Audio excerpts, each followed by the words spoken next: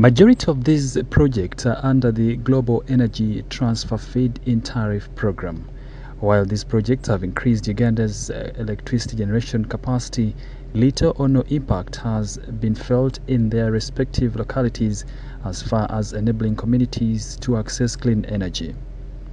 A case in point is the Kikagati hydropower plant in Isingiro district. The story is not different from other host areas of other similar projects. Yeah.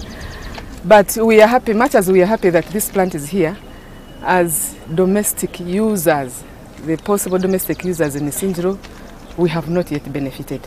It is true the plant is complete and power has been connected on the main line that was existing, but as domestic users, we still see it as an, a white elephant because we have not yet benefited. Most parts of Isingiro are still in darkness.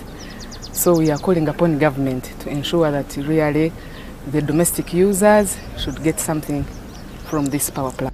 The Electricity Regulatory Authority says these plants were developed at a time when Uganda was grappling with insufficient supply of electricity and as such little thought was given to the connecting communities to the utility at the time. However, we segregate the responsibilities. Where we were in Kikagati, that uh, private developer was licensed to be able to cons uh, construct a generation plant.